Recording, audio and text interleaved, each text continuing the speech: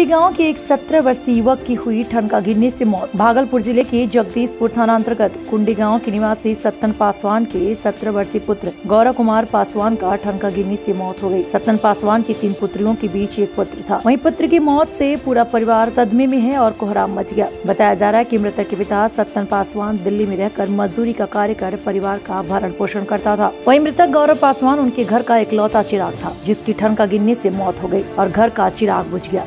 क्या हुआ था? देखिए, घटना ये हुआ था कि पहले तो बारिश हुआ, आंधी आया, उसके बाद जो है आकाशीय बिजली आया, जिसमें कि ये लड़का जिसका नाम गौरव कुमार और उसके पिता का नाम सत्तन पासवान है, क्योंकि इसका लड़का जो है कि बगीचे में ही था, उसी दरमियान आकाशीय बिजली जो है कि घटना ऐसा हुआ, उसके बाद उसके ये गिर गया। जब घटना स्थल पे हम जब गए थे तो गिरा पड़ा था, फिर उसको किसी उठा करके बाहर लाए इसको उपचार के लिए जो है कि ये ग्लोकल अस्पताल जो है ये बाईपास रोड पे यहाँ ले गए जहाँ इसको मृत घोषित कर दिया। बोला कि आप इसको सदर ले जाइए। ये डेट कर चुका है। क्या नाम था? नाम है इसका गौरव कुमार। और इनके पापा का नाम? सत्तन पासवान। कितना भाई था? भाई मैं अकेला ही था। बहन?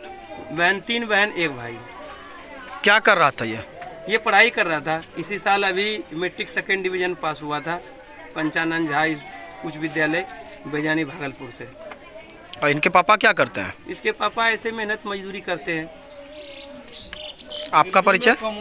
मेरा नाम सत्यनारायण कुमार। आप इनके कौन लगे ये मेरे फ्रेंड के लड़के हैं। यानी गाँव के हैं। हाँ। मृतक गौरव कुमार पासवान इस बार पंचानन पंचानन झा उच्च विद्यालय बैजानी से मैट्रिक की परीक्षा पास करके आगे की पढ़ाई के पूर्व ही उसकी मौत हो गई। वहीं जगदीशपुर थाना क्षेत्र में इतनी बड़ी घटना होने के बावजूद भी खबर लिखे जाने तक जगदीशपुर थाने की पुलिस घटना स्थल पर नहीं पहुँचे। Neelambuj Kumar Jha, Bhagalpur Bihar, R nine